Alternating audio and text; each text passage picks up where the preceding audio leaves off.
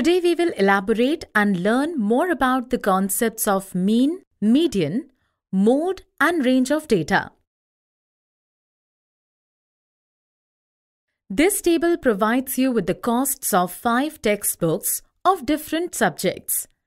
Using this information, can you calculate the mean, median, mode and range of the data? We all know mean is equal to sum of all observations divided by number of observations. Using this formula, we can derive the mean of the values given in the table. The answer of this is 53.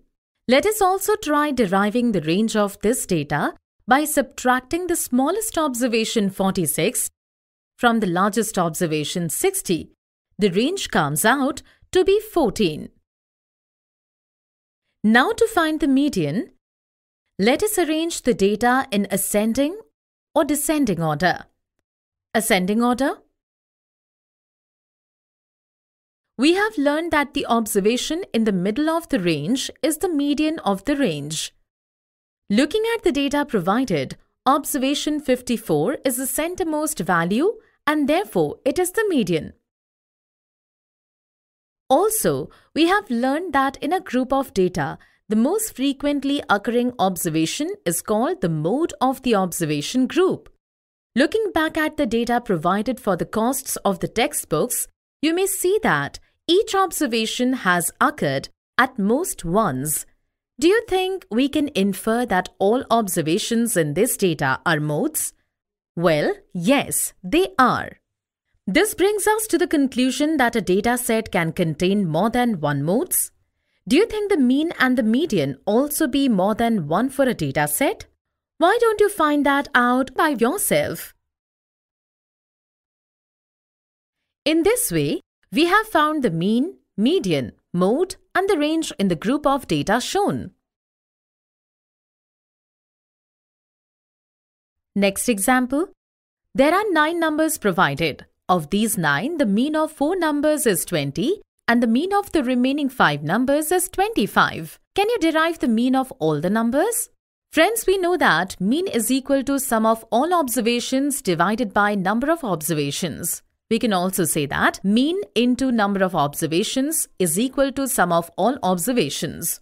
Considering this formula, sum of 4 observations is equal to 20 multiplied by 4 is equal to 80 Sum of 5 observations is equal to 25 multiplied by 5 is equal to 125. Therefore, the sum of all observations 4 plus 5 is equal to 9 will be 80 plus 125 is equal to 205. Now the mean will be derived as mean is equal to sum of all observations divided by number of observations.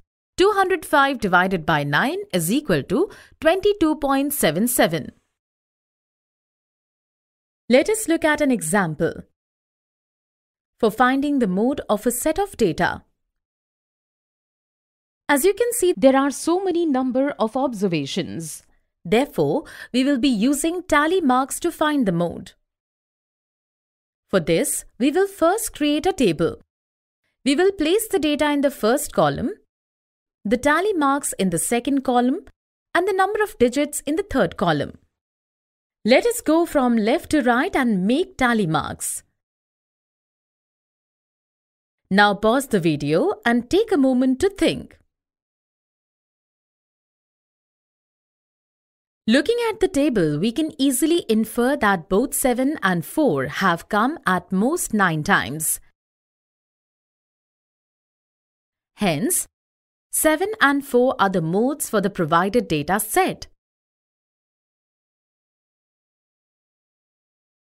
Today we saw some examples of how to derive mean, median, mode and range from a set of data. In the next video, we will learn about some mistakes and misconceptions related to mean, median and mode.